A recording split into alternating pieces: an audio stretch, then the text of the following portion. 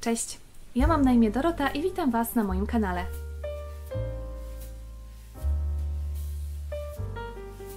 Skończyłam naznaczone złotem e, i troszeczkę już Wam o tej książce opowiadałam w jakichś tam poprzednich daily vlogach, ale tutaj wszystko podsumuję, powiem od początku tak, żeby wszystko było w jednym filmie w całości. Naznaczone złotem jest to fantastyka dla młodzieży powyżej 14 roku życia, tu nawet jest zaznaczone, że 14+. Plus. I ja się z tym jak najbardziej zgadzam od początku. Poznajemy Dekę, która e, ma 16 lat i poznajemy ją e, w dniu e, takiego rytuału czystości, który w jej wiosce oznacza sprawdzenie, czy Deka i jej krew są czyste. Tutaj bardzo mocno wierzy się w takiego Boga Słońca i jest tutaj mm, też taka księga, według której po prostu oni żyją. I w tej księdze jest mnóstwo, mnóstwo zasad dotyczących kobiet. Na przykład to, że po rytuale czystości one muszą zasłaniać twarz. Albo, że od 15 roku życia one nie mogą używać ostrych narzędzi, żeby się nie skaleczyć. Bo kobieta y, z bliznami jest mniej wartościowa i w ogóle kto ją tam zechce. Y, też są takie bardzo mocno y, absurdalne wręcz zasady, że na przykład dziewczyny nie mogą biegać. To jest później w książce bardzo fajnie wyjaśnione, dlaczego yy, są takie zasady, ale no jest taka zasada, że dziewczynki po prostu nie mogą biegać, mm, ale to naprawdę ma sens i później jest to świetnie, świetnie wyjaśnione. E, no i Deka ogólnie bardzo się boi e, tego rytuału czystości. Ona jest e, tylko z ojcem, ponieważ jakieś trzy miesiące wcześniej chyba czerwona ospa dopada tą wioskę i jej matka umiera. Więc ona zostaje tylko z ojcem mm, i jakby, wiecie, nie ma takiego wsparcia w matce, więc bardzo boi się ogólnie tego rytuału czystości, ponieważ jeżeli okaże się, że jej krew nie jest czysta, czyli jest złota, to zostanie e, najprawdopodobniej wygnana po prostu z tej wioski, wyrzucona po licznych e, torturach i jeszcze nie wiadomo czym, zostanie wyrzucona. I tym bardziej Deka się tego boi, ponieważ w rodzinie jej ojca, bodajże jego kuzynka, była właśnie nieczysta, no i została wygnana. No i Deka boi się, że gdzieś tam te geny w niej są i że również okaże się nieczysta. Poza tym ona wyczuwa, że coś jest nie tak. Ona się tak bardzo boi, bo czuje, że jest inna. Czuje, że nie pasuje do tej wioski, że to nie jest jej dom i że po prostu jest coś nie tak. I ona się bardzo boi, bardzo się w ogóle modli do tego Boga, żeby być czysta, żeby być normalna, żeby wszystko było w porządku. Natomiast e, ten rytuał czystości, oprócz tego, że sprawdza, czy dziewczynki są czyste, czy nie, jest również trochę takim festiwalem e, przyszłych panien młodych, ponieważ po tym rytuale bardzo często te dziewczyny znajdują od razu mężów, ponieważ na ten rytuał e, zjeżdżają się kawalerowie i sobie żony wybierają spośród tych dziewczyn, które właśnie okazują się czyste. No natomiast dochodzi do tego rytuału czystości e, i ja w ogóle myślałam, że ten rytuał normalnie się odbędzie i że deka okaże się nieczysta, no bo jakby można się domyślić, nawet tutaj z tyłu jest napisane, że jej krew okazuje się złota. I ja myślałam, że to będzie takie, wiecie, normalne, w sensie, że po prostu ona faktycznie ym, dojdzie do tego rytuału, zobaczył, że ta krew jest e, nieczysta i tam wiecie, wydarzy się e, to, co wydarzyć się ma. Natomiast do tego rytuału nie dochodzi w ogóle. Oni wszyscy się tam zbierają i dochodzi do pewnych sytuacji, bardzo takich tragicznych wręcz i bardzo szybkich. E, ale teraz po przeczytaniu tej książki ja doskonale wiem, dlaczego tak jest. I dlaczego E, tak się wydarzyło, po co to było i że to wszystko było zaplanowane. To znaczy, że to tak miało być, po prostu tak miało być. Do tego rytuału nie miało w ogóle dojść. Zjawia się pewna kobieta, która oferuje Dece jakby pomoc, może tak powiedzieć, tak? No bo jakby Deka nie ma za bardzo wyboru, no bo albo pójdzie z tą kobietą, albo będzie dalej siedziała w piwnicy i będzie torturowana i e, no będzie wiodła takie życie, no jakie wiodła dotychczas i będzie po prostu ponosiła wszelkie konsekwencje pozostania w tej wiosce. Natomiast Deka decyduje się na to, żeby z tą kobietą po prostu odejść z tej wioski. E, I ta kobieta okazuje się wysłannikiem cesarza. I ten cesarz chce właśnie z takich osób jak Deka mm, chce zbudować swoją armię i one mają napadać e, i zabijać krzykacze śmierci, które są tutaj takimi no, czarnymi charakterami w tej książce. Powiedzmy sobie, są takimi e, stworzeniami, które napadają na wioski i zabijają mieszkańców. Napadają też na właśnie na stolicę, coraz częściej napadają na stolicę, a stolica, jak wiadomo, tam gdzie jest cesarz, jest naj, najlepiej strzeżona. Mimo tego te krzykacze śmierci się tam zapuszczają mm, i próbują tam no, zabijać też tamtych ludzi. Cesarz chce po prostu tych krzykaczy śmierci unicestwić.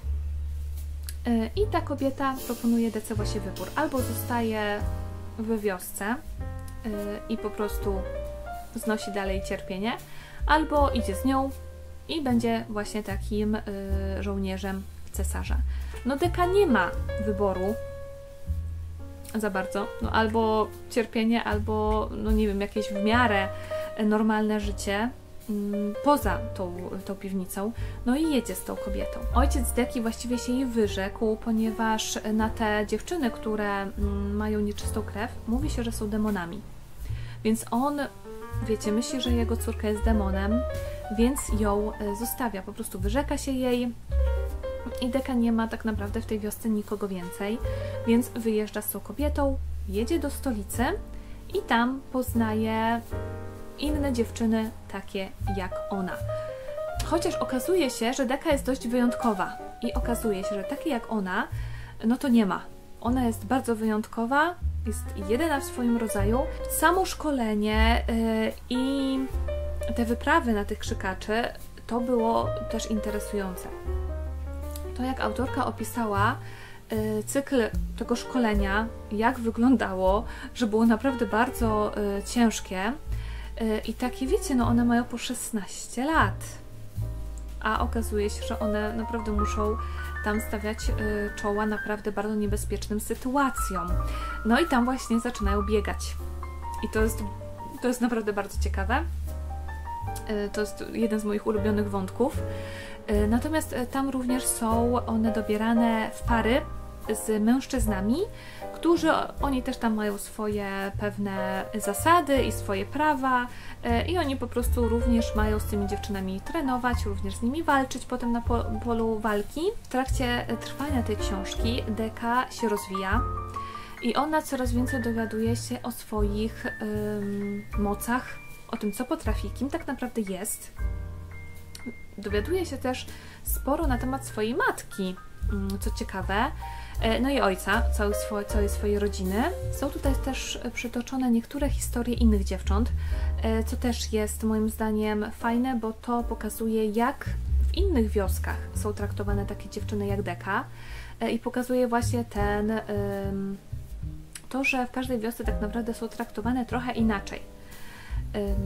Więc ta różnorodność kulturowa jakby względem tych dziewczyn też jest bardzo istotna.